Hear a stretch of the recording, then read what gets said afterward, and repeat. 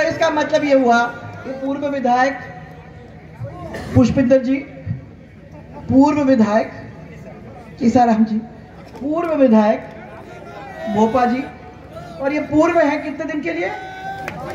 सिर्फ़ 25 दिन के लिए अभी तक पूर्व है। मैं तो समझती हूँ कि आज आप सबको देखकर मुझे तो ये विश्वास होता है कि जब इतनी संख्या में लोग आए हैं, इतने प्यार से सबको आशीर्वाद देने के लिए यहाँ बैठे हैं जब पूरा परिवार यहाँ आया हुआ है। महाराज लोग सब यहाँ आए हुए हैं। इतने संत महाराज आके आशीर्वाद दे रहे हैं। तो मुझे अभी तो क्या चिंता करने की ज़रूरत है?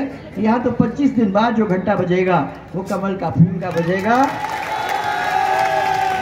आप सबके परिवार का बजेगा।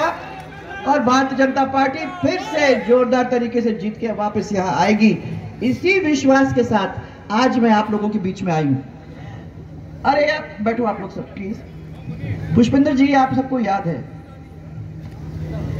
2002 में पहली दफ़ा आपके इस क्षेत्र के अंदर आने का मुझे मज़ा मिला। भैया, आप लोग आप लोग इधर बैठना पड़ेगा क्योंकि मैं देख नहीं पा रही हूँ इन लोगों को। हाँ?